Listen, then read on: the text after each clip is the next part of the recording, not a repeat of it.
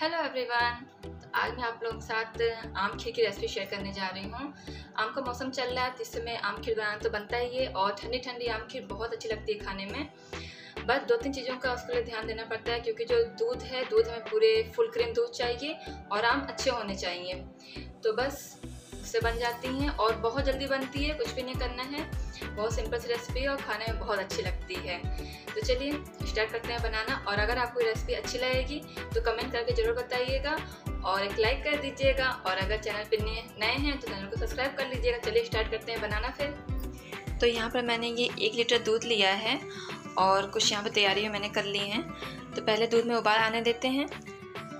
ये देखिए, दूध में यहाँ पे उबाल अच्छे से आ चुका है। तो अब हम इसमें जो ये ये मैंने ये आधा कप चावल भिंगा के रखा था। इसे मैंने पहले से ही आ, मतलब आधा घंटा पहले भिंगा दिया था। मुझे लगता है खीर में अगर चावल आप थोड़ा पहले से भिंगा के उसको बनाइए तो ज़्यादा अच्छी बनती है खीर। इसलिए मैं जब भी खीर बनाती हूँ तो चावलों को पहले से ही आधा घंटा या घंटा जैसे मतलब होता है पहले ही मैं भिंगा के रख देती हूँ। तो बस अभी चावल मैंने डाल दिया है। इसको हमें थोड़ी देर अच्छे से पका लेना है। तो यहाँ पर देखिए ये जो चावल हैं काफ़ी हद तक पक चुके हैं। तो बस इसमें हम कुछ ड्राई फ्रूट्स डाल देंगे।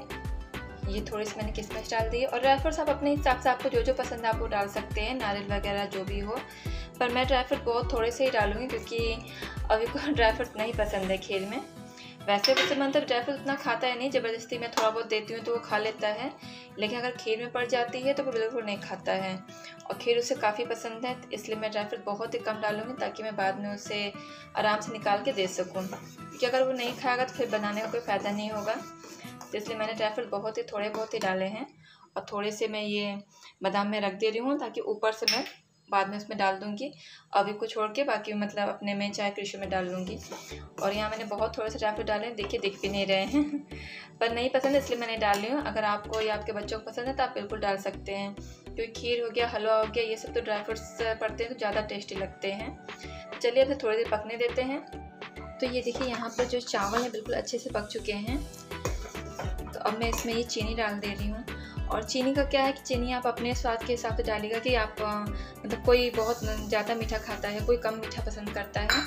तो इसलिए मैं चीनी यहाँ पे अपने हिसाब से डाल रही आप अपने हिसाब से डालिए कि आपको ज़्यादा मीठा खाना है या फिर कम मीठा खाना है। और दूसरी चीज़ की, यहाँ हम आम की खीर बना रहे हैं तो आम के ऊपर भी डिपेंड करेगा कि आपका आम कैसा है, आपने कौन सा आम लिया है।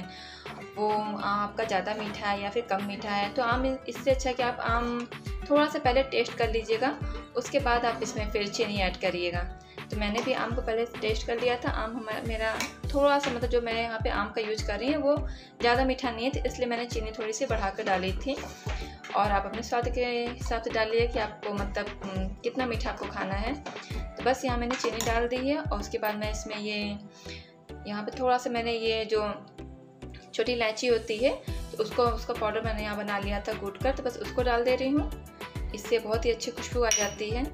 चलिए इन सबको डाल के थोड़ी देर हमें और पका लेना है। मुश्किल से दो चार मिनट और हमें इन्हें पकाना है ताकि चीनी अच्छे से घुल जाए और अच्छे से उसमें पक जाए तो उसका स्वाद अच्छा आएगा। तो बस थोड़ी देर और इसे पका लेती हूँ मैं अब। तो ये देखिए खीर यहाँ पूरी अच्छे तरीके से पक चुकी है। तो ऐसा गैस हम बंद कर देते हैं और थोड़ी देर खीर को ठंडा होने के लिए छोड़ देते हैं। तो यहाँ पर खीर थोड़ी सी ठंडी हो गई है। तो अब इसमें हमने जो ये आम का जो आम की जो प्यूरी बना के रखी थी, उसको डाल के अच्छे से मिला देंगे। और ये आम की प्यूरी मैंने चार आम लिए थे मैंने, मीडियम साइज़ के चार आम लिए थे मैंने। उसके जो पूरे पल्प को अच्छे से निकाल के उसको मिक्सी के जार में थोड़ा सा मैंने ग्राइंड करके अच्छे से बिल्कुल स्मूथ पेस्ट बना लिया है। तो उसको इसमें डाल के मैं अच्छे से मिला लूँगी। तो ये लीजिए, बस तैयार हो गई हमारी आम खीर। तो अभी तो खीर गर्म है, थोड़ा सा इसे हम ठंडा कर लेंगे, उसके बाद इसे फ्रिज में रख देंगे। और जब अच्छे से जल्द हो जाएगी तो फिर हम इसे सर्व करेंगे। तो चलिए मैं आपको सर्व करके दिखाती हूँ। तो यहाँ पर मैंने एक बाउल में खीर निकाल ली है और खीर को हम थोड़ा सा गार्निश करेंगे। तो गार्निश करने के लिए आप किस, कोई भी ड्राई फ्रूट्स का यूज़ कर सकते हैं जो आपको पसंद हो। तो मैंने यहाँ पर सिर्फ़ थोड़ा सा हल्का सा मैंने बादाम की कतन डाली है। बादाम को मैंने हल्का सा पतला पतला सा काट लिया है और उसके ऊपर से मैंने थोड़े से आम के छोटे छोटे पीसेस रख दिए हैं, जो देखने में बहुत अच्छा लग रहा था। और आप अपने हिसाब से आपको जो भी ड्राई फ्रूट्स वगैरह डालने हैं, आप डाल सकते हैं, पर आम के पीसेस ऊपर से ज़रूर डालिएगा, क्योंकि आम की खीरे देखने में बहुत ही अच्छी लगेगी और खाने में भी टेस्टी लगेगी। तो देखिए कितनी अच्छी लग रही है ना?